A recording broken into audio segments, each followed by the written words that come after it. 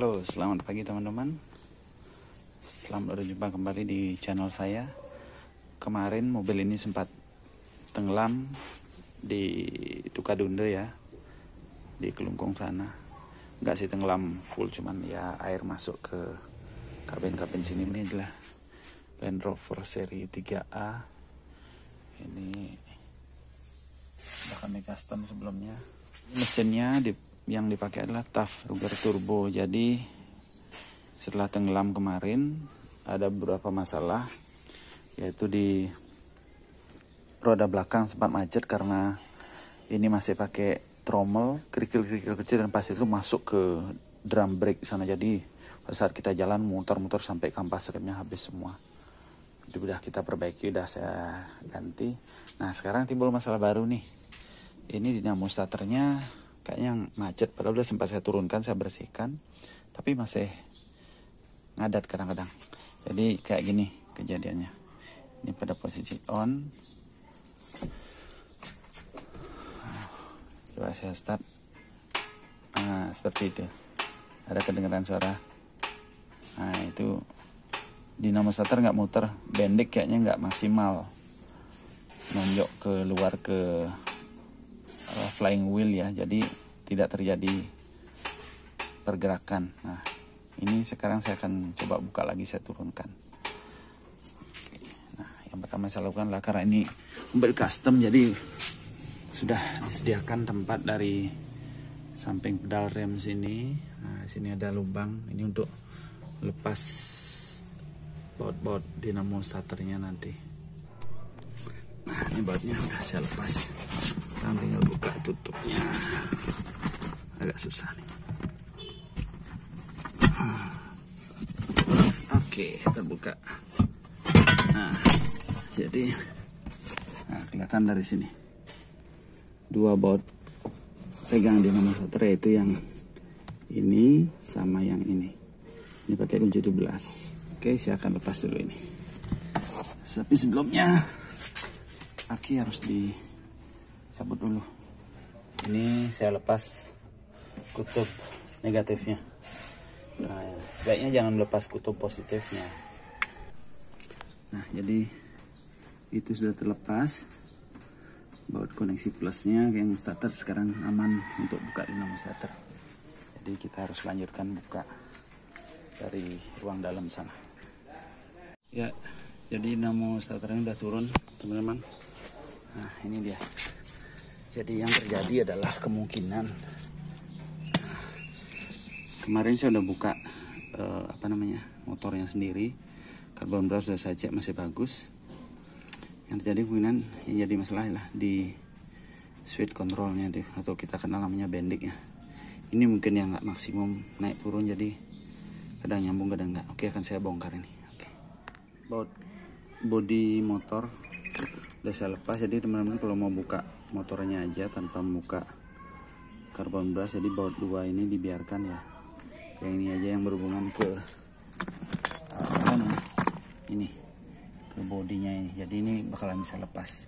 Hati-hati lepasnya biar uh, rotor di dalamnya nggak ikut nyangkut di sini nanti malah karbon brushnya lepas jadinya. Oke okay, ya. Ya motor udah saya lepas ya. Saya pisahkan dari bodi jadi seperti ini di dalamnya. Nah, jadi ketiga bautnya udah saya lepas. Itu bautnya. Apa jadi ini akan saya buka. Seperti apa di dalamnya? Kita akan lihat bersama-sama. Ya dan ternyata ini yang bikin macet. Nah ini proses pembukaan body dinamo starternya ya body apa bendiknya. Nah ini kalau ngebukanya ini harus pakai obeng getok atau uh, kayaknya obeng getok lebih bagus. Seperti ini nah, jadi ujungnya harus gede.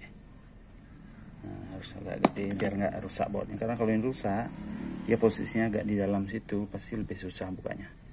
Nah ini sementara ini udah bisa. Sekarang tinggal buka ini kita buka bodinya. Oke oke teman-teman ternyata masalahnya sudah ketemu. Jadi nah ini dalam ruangan apa namanya gigi pendeknya tadi ya. Di sini rupanya yang macet tadi. Ini begitu timbul medan magnet di sini. Nah jadi pin di sini yang nonjok ke bawah untuk mengeluarkan gigi ini keluar tuh macet. Nah ini jadi udah saya bongkar saya bersihkan dan ini yang untuk bikin medan magnetnya dari atas ke bawah. Ini sekalian jadi switch ya ini.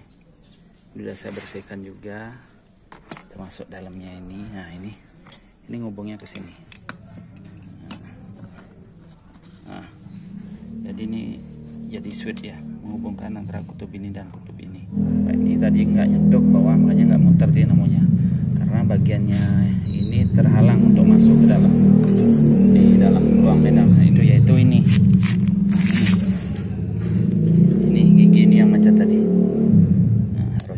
Bergerak gini tadi. Ah nih.